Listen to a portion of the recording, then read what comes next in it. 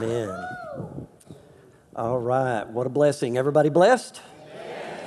Amen. Let's do something for me. We are live streaming on the DSM app and other platforms that we have for all of our partners around the world. And so I want them to feel welcome and like they're a part. So would you welcome our DSM partners? Thank you, guys. What a blessing you are. We're in the process, and our partners have made it possible for our new studio that we're building. And the Lord has opened doors to go back on television again. And so I'll be contacting our partners about that. Man, we need to get the message of grace and truth out. Amen. Amen. So I'm excited about that. Father, thank you for this sanctified time. Thank you for your word and how faith comes by hearing and hearing by the word of God. Thank you for the testimonies that are flooding in. I pray they just multiply. In Jesus' name, amen. Is it, is it Amy that had, Amy? Yeah, that, what a testimony. She's one of many that have come back and testified of the Lord healing her. She had four operations on her back and had not gotten any better. And the Lord has healed her back. So she's excited. I'm excited for you. That's, that's beautiful. One of, my, one of my good friends, I won't name him, uh, but in the healing line, I asked him what he wanted. He said, Just pray for me. I'm just old. so, God quickens, God quickens our mortal bodies. Amen. We go to John chapter 5. John chapter 5. I'm really excited about what's on my heart.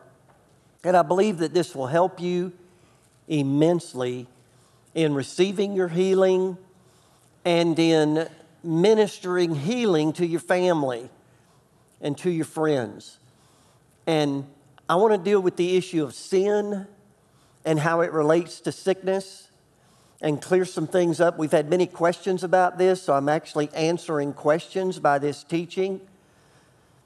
But I know I've struggled for a long time with just the source of sickness and a lot of people are confused on where sickness comes from and things of that nature. So we're going to look at different passages here, and I believe the Lord's going to bless us. This is in John chapter 5 where Jesus healed the lame man at the pool of Bethesda. And there's a mystery associated with these healings. There's always mysteries associated with healing. We don't have all the answers on how God heals. We have a lot, but we don't understand everything. We don't understand and have answers again for all the things that we face in this life, but we've got many. And Jesus is ministering to a man. There's five porches, and I can really picture this because the mystery in this story is this pool of Bethesda, an angel would stir the water, and the first person that got in got miraculously healed. I, I don't understand that. If you have insight on that, I'd appreciate it. You can, you can get with me on that because it's a mystery to me. But I can sure picture. I'm surprised there wasn't six or seven Motel Sixes right by it. so five porches is not out of the realm of possibility if you hear about that. And so all of these people are on these porches waiting for the angel to stir the water. And Jesus sees this lame man. He had been lame for 38 years. I want that to sink in, and there's a purpose coming up. 38 years. And Jesus is passing by, and one of the things that happened here is the gifts of the Holy Spirit. One of the ways that God heals is through the gifts of the Holy Spirit. And it's sad how so many of us have, have dismissed the gifts and what's available to us in the gifts of the Holy Spirit. Jesus operated in the gifts of the Holy Spirit all the gifts except tongues and the interpretation of tongues. That didn't happen until Pentecost after his resurrection. But the other gifts of the Spirit, Jesus operated in. And so he's walking by and he sees this guy lame and he says, Do you want to be healed? Now, I'm not trying to be mean. It's, don't, don't do this, Duane. do you want to be healed? And immediately starts making up excuses on how that the angel will stir the water and somebody will get in there before I do. Uh, and so he's making up excuses instead of just answering the question absolutely, I wouldn't be on this porch if I didn't want to be healed. But I've been shocked over the years at how many times I've asked people, Do you want to be healed? And they'll come up with an excuse. And I'm not, I'm not saying there aren't reasons why we struggle with sickness. I'm saying we got to get past all these excuses and trust God. And so Jesus says, Take up your mat, take up your bed, and walk. And the power of God hits this guy, and he, he folds up his mat and, and he starts walking. And listen, he doesn't even know who Jesus is. That's how good God is. That's how willing he is to heal, by the way. And so he starts walking, but guess what? It was the Sabbath. Some of you have read the Bible. These people are still around today that are just legalistic, dogmatic, have no care in their heart for people. You think if a man was lame for 38 years and he got healed, you wouldn't care what day it is. You'd be excited for him. You'd have compassion. But oh no, it was the Sabbath. The Jews, verse 10, the Jews therefore said to him who was cured, It is the Sabbath. It's not lawful for you to carry your bed. How dumb can religious people become? It's not lawful for you to carry your bed. It was like, it's the Sabbath, that's work. That's a moving company, a furniture moving company. and trying to dismiss the goodness of God, the power of God. He answered them, He who made me well said to me, Take up your bed and walk. Then they asked him, Well, who is this man who said to you, Take up your bed and walk? But the one who was healed did not know who it was, for Jesus withdrew, and a multitude being in that place. Afterwards, Jesus found him in the temple and said to him, See, you have been made whole. Sin no more, lest a worse thing come upon you. Now that's profound. The man discovered it was Jesus. He got interrogated by the Pharisees. His parents got interrogated by the, the Pharisees. And so he decides, in wisdom, you people haven't done squat for me my whole life. The guy who healed me said, Take up my bed and walk. I'm going with the guy that healed me. And I've been there many a time where you got to go with Jesus. Notice he said, Go and sin no more, though, lest a worse thing come upon you. Now let that sink in for a minute. I can't fathom what could be worse than lame for 38 years. I, I don't know what could be worse than not being able to walk for 38 years. And yet Jesus said sin can be connected to sickness. And so you need to live a repentive life. You need to understand that sin gives place to Satan, and he has come to steal, kill, and destroy. Now, while it's important that we understand this, we cannot assume that everybody who is sick has personally sinned. And this is a problem within churches who believe in healing. This is a problem within Christians and Christian circles where we've seen the power of God. We've seen testimonies. We've watched God for decades heal people. And we've seen the consequences of sin in our own lives and in others' lives. But we can become innocently judgmental if we're not careful. And everybody who is sick among us or anyone struggling with something among us, the first thought you have is, well, what sin did they commit that caused this? We've grown so much as a body. Jacob and I are different, and that's good. I've taught you for three and a half decades to be yourself, and finally we have a, a preacher's kid who's himself, and they want him to be me. and he's not good enough to be me.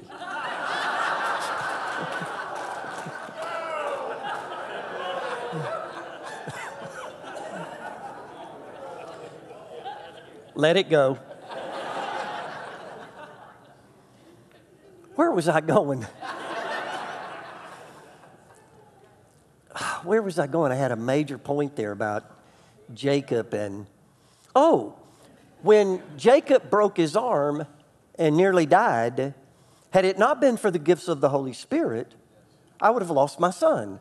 That's why I know the gifts are real. I know how they work. I know, I know what setting they're supposed to work in. That's new to most charismatics, even. And it was a word of knowledge that the Lord gave me supernaturally that he was bleeding internally and was fixing to die. And the doctors missed it. And so I didn't come to the body immediately with it. I didn't want to have to deal with what sin did Sue and I commit that brought this on Jacob. Where did we miss it? I didn't need all that unbelief. I didn't need all those negative confessions. I needed, and I went to the elders who were mature, I needed somebody to agree with me in prayer for the life of my son. When Urias died for 30 minutes and was raised from the dead, the first thing Jacob wanted to do was tell the whole body, the whole church. And I feel bad about this. It's not that I doubt you, it's that I know you.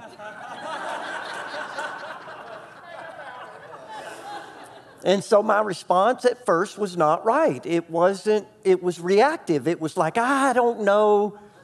We need to seek God on this.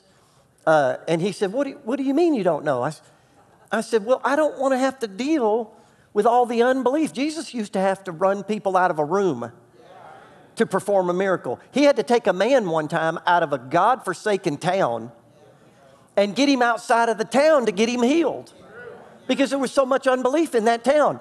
And so I, I wavered at first. And man, I just love Jacob so much. He said, Dad, you've taught us for three and a half decades how to believe God and how to stand with one another. And I said, Yes, I have. Write the letter. And he wrote a letter, a prayer. And he had confidence that the whole church would pray right and would not be judgmental. Uh, so that's a generational shift. You remember, you, some of you don't remember, but when we, when we first got started, I mean, I was attacked constantly preaching on healing. Entire churches came out against me preaching on healing. We've come a long way. We have a long way to go, but we have come a long way.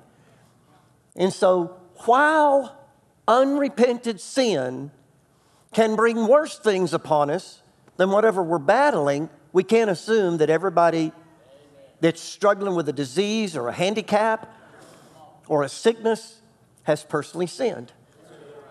Everybody understand that? Well, let me show you the opposite now in John chapter 9. John chapter 9, look at verse 1. Now, as Jesus passed by, he saw a man who was blind from birth. And his disciples asked him, saying, Rabbi, who sinned, this man or his parents, that he was born blind? Now, where did they get that thinking in the first place? They must have known some kind of connection with sin and sickness, but many of you know you need the Holy Spirit and you don't need to be dumb to the second power? the man's born blind, and you ask the Son of God, who sinned, the baby or the parents? As if a baby can commit a sin in the womb to bring about, excuse me, blindness. That's just sad. I love Jesus' answer. Verse 3 Neither this man nor his parents sinned, but that the works of God should be revealed in him. I must work the works of him who sent me while it is day. The night is coming when no man can work. As long as I'm in the world, I'm the light of the world. Jesus said neither one of them sinned. But listen, he didn't say sin had nothing to do with blindness. He said it wasn't their personal sin. Whose sin has brought all this sickness and disease into the world? Adam. Adam's sin, the curse of the fall, has brought all this handicap, disease, viruses, allergies. Thank you, Jesus. I believe I receive. It's sin in the world. And I don't know if you figured it out yet, but you don't have an immortal body. Don't look at me like that. You're dying. Again, some of you fast right in front of me. and there's people that argue with me about this to this day that we can believe God and not physically die. Look at your high school pictures, saints.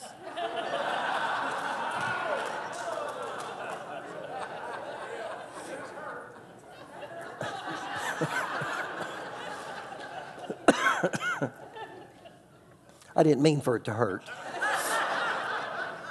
but I get it, I get it.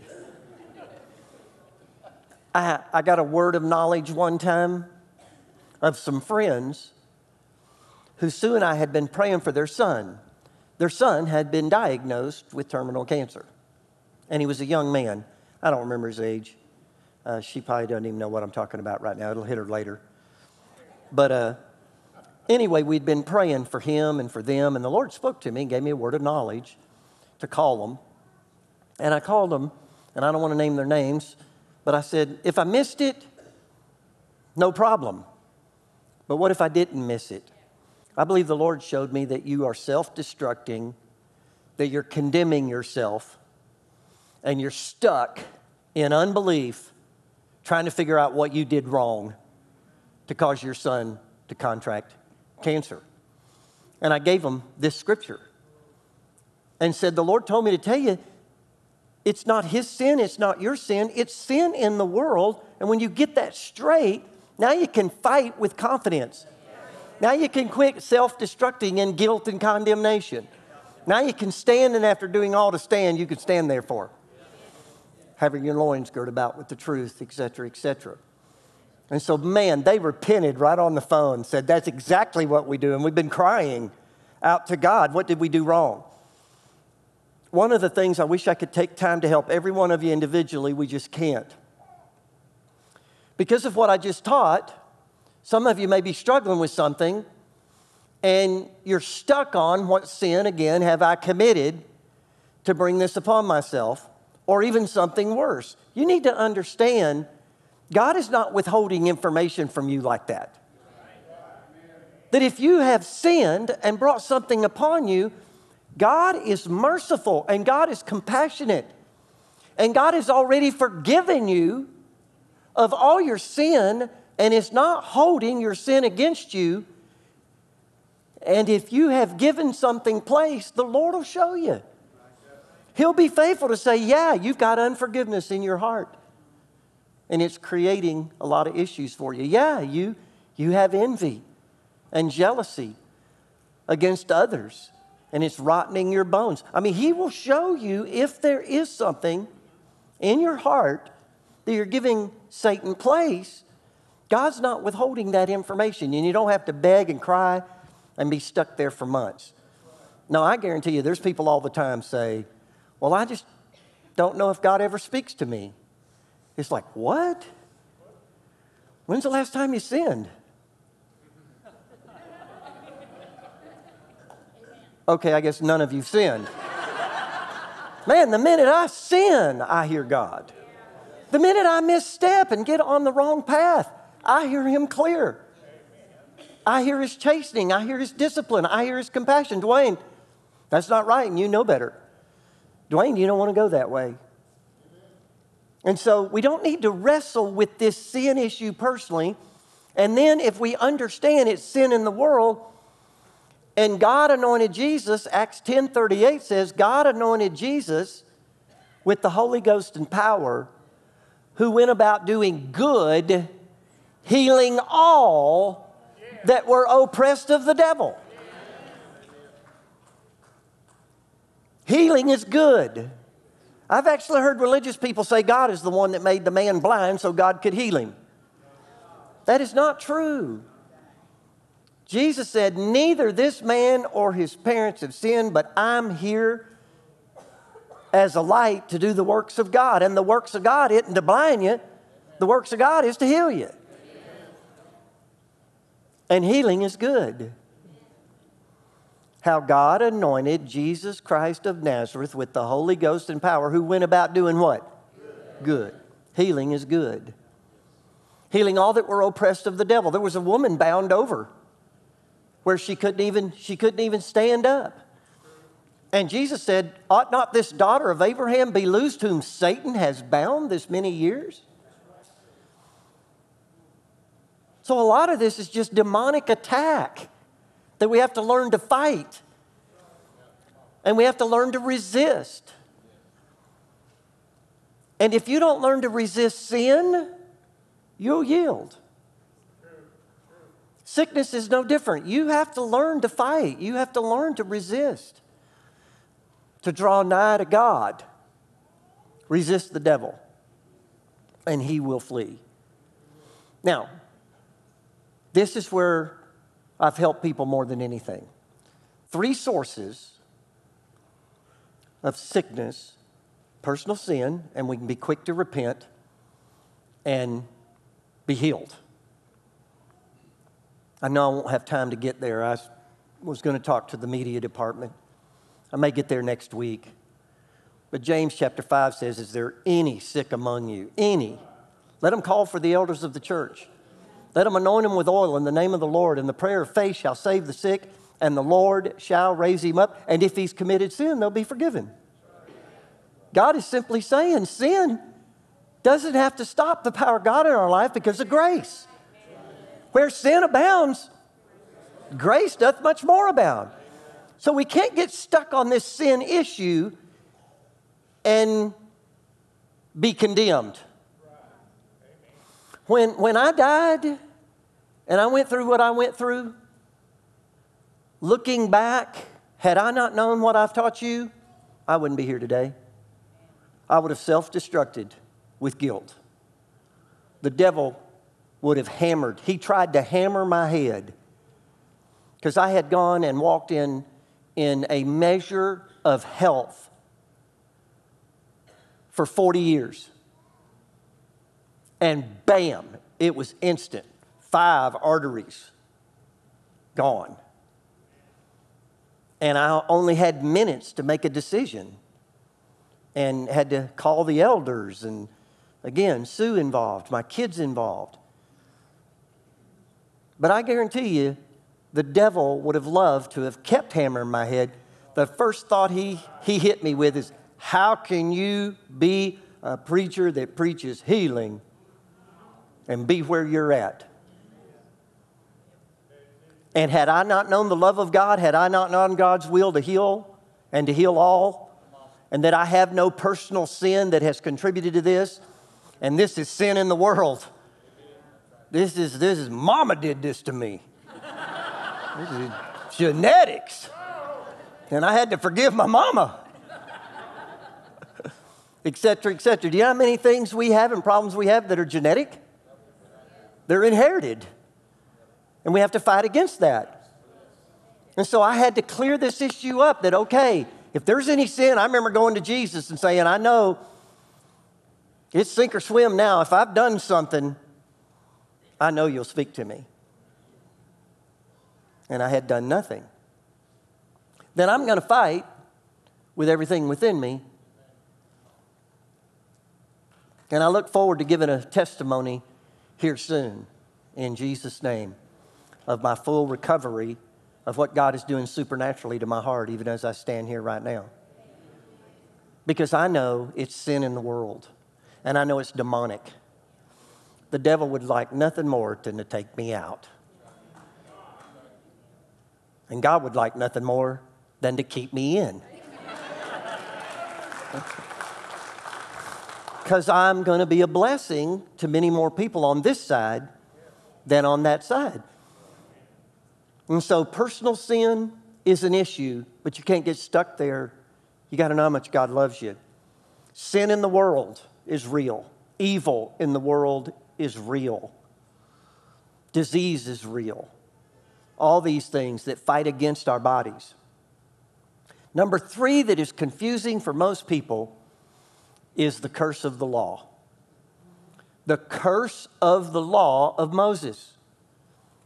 In Romans chapter 4, verse 15, Paul says it was the law that worked God's wrath. Now, I guarantee you, if you hadn't heard me teach on this or somebody, you're confused. Because a lot of people will tell you, well, it's sin that works God's wrath. Well, no, sin was in the world before the law, and God was compassionate and merciful and long suffering. But when the law came, my gosh, lightning from heaven came down on picking up sticks on Saturday. Amen. Wrath from heaven was revealed. God's curses and punishment was revealed under the law, and part of that was sickness. And this is so confusing for people. Again, Deuteronomy 28. I've only one time read those curses out loud. They are so horrible that I can't read them out loud, not get emotional. How bad they are. The first 15 verses of Deuteronomy 28 if you obey me, you'll be blessed. From verse 15 to 68, if you disobey me, these curses will come upon you. And it says, The Lord will put these on you. The botch of Egypt. I still don't know what that is, but I don't want it. Mildew. Sue said something a few years ago, and I said, That's a curse. I don't believe in mildew in our house. Talks about them being under siege and getting so hungry and starving they'll eat their own children. It's terrible, terrible stuff. And so people read all that, they grow up in church, and they hear about all that, and it gets confusing. Let me give you an example. Example one Miriam was struck with leprosy, and it was God that did it to her. Now, I've heard some so called word and faith preachers try to explain that away. I don't have to explain that away. God did it. Her and Aaron murmured against Moses and his authority. And it's interesting, it says that Moses married an Ethiopian woman. Then they murmured against his authority.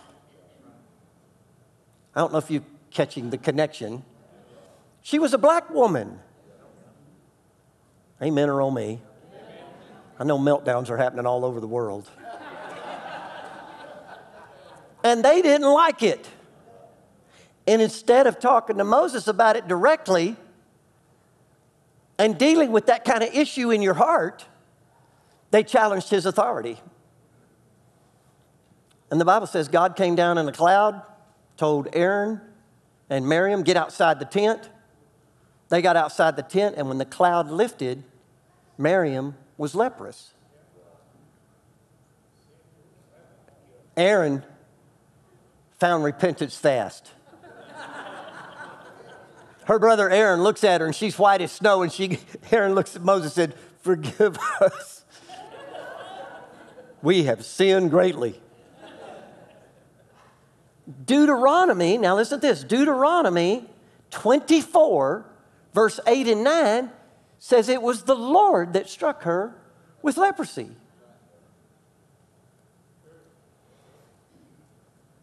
There's a man named Korah in the Bible, Dathan and Abiram. And they and 250 people came up against Moses' authority and murmured and complained to God and falsely accused the leader and God says, bring them all out to their tents. And Dathan and Korah and Abram, Abiram, and their families. The Bible says the ground opened up and swallowed them alive and closed in on them. Man, I've been in some deacon meetings. You just want the ground to open up. God, can we go under the law here just for 15 minutes? And if they die an unnatural death, let it be known who's hearing God. I know you've never thought like that. Pray for me. Then fire came out of the tabernacle and consumed the 250 rebels that were with those other three. That was God. That was wrath. That was a curse. That was punishment. Go to, go to Numbers 21. This one used to bother me. A lot of this stuff bothers me. It really bothers me when people say there's no wrath to come.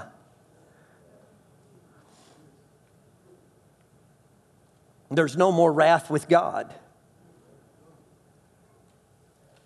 There's no wrath from God on us. Numbers chapter 21, verse 6. This is where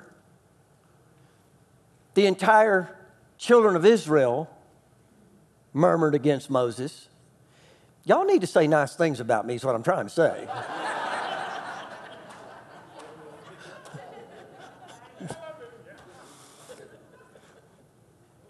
and the Bible says God sent serpents among them, and thousands of them died from snakebite. God did it. They were poisoned and died of snake poisoning. Look at, look at verse 6 of Numbers 21. So the Lord sent fiery serpents among the people, and they bit the people, and many of the people of Israel died. Therefore, the people came to Moses and said, We've sinned. you think? But I guarantee if this church started filling up with snakes, I'd be, I'd be repenting. We've sinned, for we've spoken against the Lord and against you. Pray to the Lord that he take away the serpents from us. Moses prayed for the people. Now look at this. Then the Lord said to Moses, Make a fiery serpent and set it on a pole. And it shall be that everyone who is bitten, when he looks at it, shall live. So Moses made a bronze serpent and put it on a pole. And so it was, if a serpent had bitten anyone, when he looked at the bronze serpent, he lived.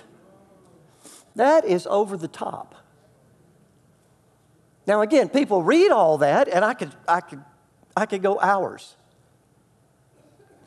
with how the Lord put those plagues upon Egypt as judgment for Egypt's sin. How the Lord made them sick. But it was a curse, the curse of the law. It was punishment, it was wrath. It was not chastening, it wasn't discipline. What did the people that died of snake bit or bite learn? It was punishment.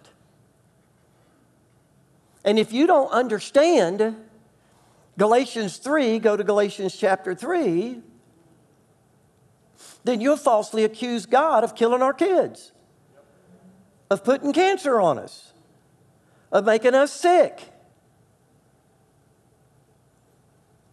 I can't tell you over the years how many times I've said, God didn't do this to us. And people will quote something out of the Old Testament that was a curse. That was God revealing wrath from heaven on all disobedience. From the smallest of sin to the greatest of sin, wrath came down from heaven. And people think, well, if God did that to them, then He's doing it to us. There's been a cross, there's been a pole.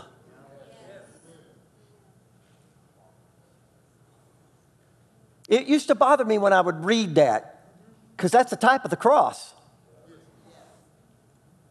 And God said, put a serpent on it. You'd think God would say, put a lamb on it. But how many of you know the lamb became sin for you and I? In Galatians 3:10, for as many as are of the works of the law are under the curse. For it is written, Cursed is everyone who does not continue in all things which are written in the book of the law to do them. But that no one is justified by the law in the sight of God is evident, for the just shall live by faith. Yet the law is not of faith, but the man who does them shall live by them. My goodness, that's one of the most profound statements in the Bible. The law is not of faith. Romans chapter 14 says, Whatever's not of faith is sin. I know what you're thinking I said, but I didn't. You thought I said the law was sin. No, for me to appeal to the law to be made righteous is sin. It's not faith. For me to appeal to my own works to be healed is not faith. Cursed. Verse 13 Christ hath redeemed us from the curse of the what? See, a lot of you, I love you, but you don't even know what you've been redeemed from. Well, brother, I've been redeemed from sin. Okay, I'll give you that. Well, I've been redeemed from Satan's authority over me. I'll give you that. But you can't stop there. What you've been redeemed of that should produce such joy in your heart is the curse of the law. You don't need to fear what man can do to you but what God can do. And in His mercy and His grace, He's redeemed us from any curse of the old covenant law. Where you see God did this, that was temporary, it was for a purpose, and that's what Jesus died to redeem us from. Christ has redeemed us from the curse of the law, having become a curse for us. For it's written, Cursed is everyone that hangeth on a tree. So, see, the serpent on the pole that was a type of the cross was symbolic of Jesus becoming sin for you and I. And that's why I still preach healing comes from the cross. Because Jesus didn't just bear my sins, He bore my sicknesses, my disease on the cross.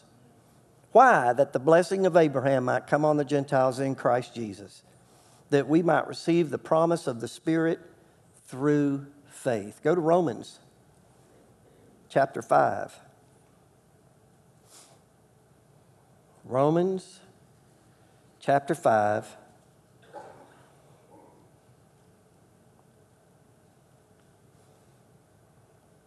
This is talking about how Jesus did not die for the righteous because there, no, there was none. Jesus didn't die for good little troopers. There were no good little troopers. Jesus died for sinners, and we qualified. And how that he gave his life for all of us. Verse 8 says, But God demonstrates his own love toward us, in that while we were still sinners, Christ died for us much more, than having now been justified by his blood, we shall be saved from wrath through him. There is wrath coming to this planet at the appearing of Jesus and his kingdom. There is God's wrath that'll be poured out on all those who rebel against God and refuse to believe and accept God's love and compassion for them. That's what you and I have been saved from. And so now, when something goes bad, we can't falsely accuse God. Whether it's our health, our prosperity, our families, our church, we have to understand how much God really is for us. And I hate to keep going back to my testimony, but that's how I overcome the devil is by the blood of the lamb and the word of my testimony.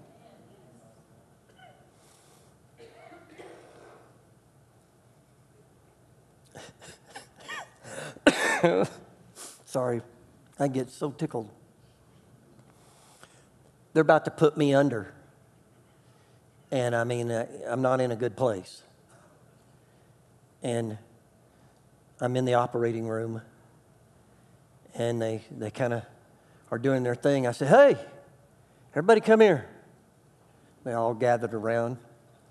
I looked at the doctor. I said, You believe in God? He was, I think, Hindu. I believe in many gods. I said, That won't work.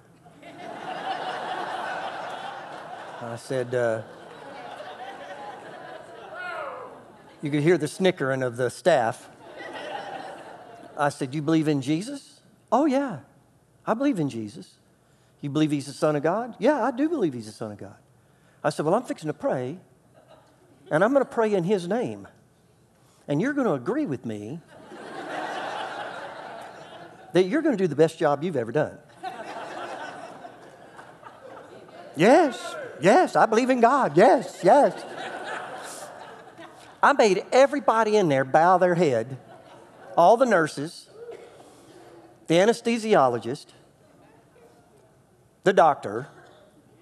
And man, I went to praying, and I'm telling you what, we had a prayer meeting. You could feel the presence of God in that room. What I'm trying to say is, I literally, absolutely had no fear. And you don't know what you're going to do and how you're going to feel. People all the time say, Well, if I was them, I wouldn't have done that. No, you'd have done worse. you know how people are? Thinking they know what somebody else should have done and what they would have done if they were them. You don't know nothing. And so I didn't know if I'm literally facing death, how am I going to feel? And to have no fear, absolutely no fear, looking back, is amazing to me, to be honest. That I would even think I would have some type of fear or panic or something, and yet I didn't. Why? I knew God's will to heal me. And I knew the worst case scenario if I die, I'll be more alive than I've ever been. And I'll come back, I'll get this body, it'll be resurrected, and its veins will be perfect. I just get the opportunity to work by faith on my veins now. See, a lot of times we think, well, if we really believed all this and we had a certain amount of knowledge, we wouldn't even face some of these things. Faith does not make you immune from trouble. It equips you to have peace in the midst of trouble.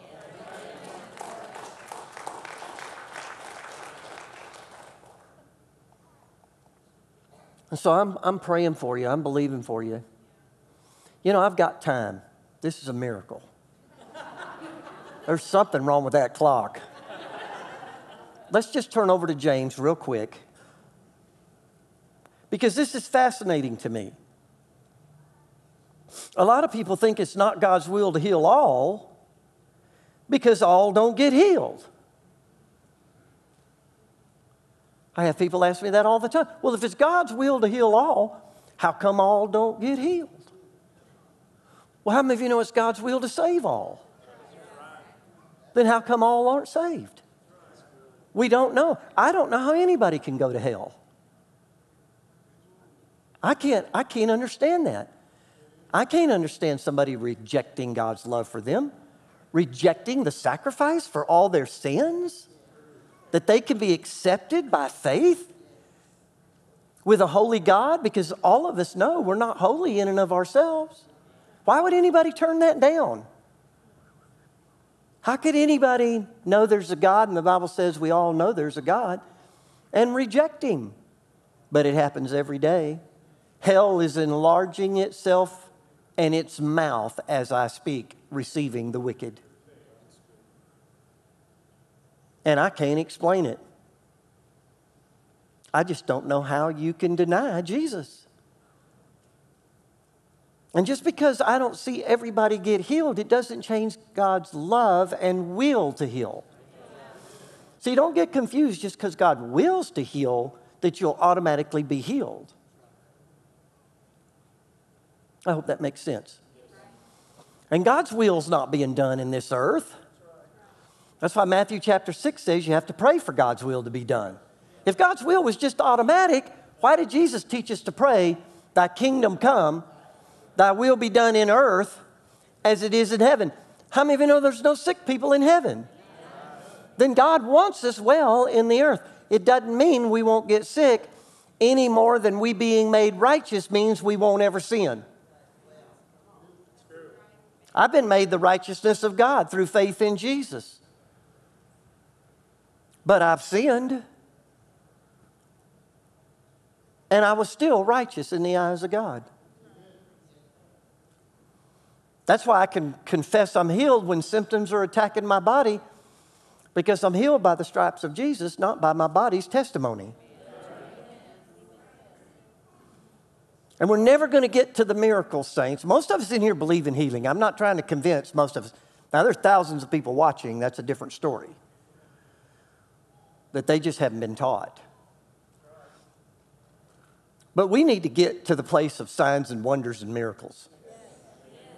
There's some things we need that are beyond healing. Just like what I need for my heart is not a healing, it's a miracle. And I'm standing for my miracle. But I'll never get there if I don't believe it's God's will no matter what. James chapter 5, I quoted it, but look, verse 13. Is any among you suffering? Let him pray. Is anyone cheerful? Let him sing a psalm. Is anyone among you sick? Let him call for the elders of the church. Let him pray over him, anointing him with oil in the name of the Lord. And the prayer of faith shall or will save the sick, and the Lord will raise him up. Now look at this though. And if he has committed sins, he will be forgiven. Why would you throw that in there? Because a lot of times when we're sick, the devil pounds our head about sin. And you have to realize if you have sinned, God loves you, you're forgiven. Repent, receive your forgiveness. Yeah, but man, I'm bitter toward my family. Well, repent. Amen. And I've taught you what it means to forgive. That a lot of times when you forgive, it doesn't mean you trust, it doesn't mean you don't have ill feelings that you have to work through. But we can forgive anybody for anything, just like we've been forgiven. And look at the next verse confess your trespasses to one another and pray for one another that you may be healed. So, a part of a good community, a part of what we're trying to do with our partners and better connect with our partners is community where we can be honest, where we can say, I messed up there, but God has forgiven me. And we be healed. So, a lot of times, our healing is connected to a confession of a trespass. And that's why it's important if you're struggling with something to make sure you search your heart and that you don't have any ill will in your heart, any ill will toward anybody. Because it's tough going through this life and not getting hurt, not getting offended, not getting in unforgiveness, which just the body just breaks down. And God wants us to be a community where we encourage one another that, hey, I've messed up, but boy, God's forgiven me and I'm blessed and we can be honest. Well, did anybody get anything? That was awesome.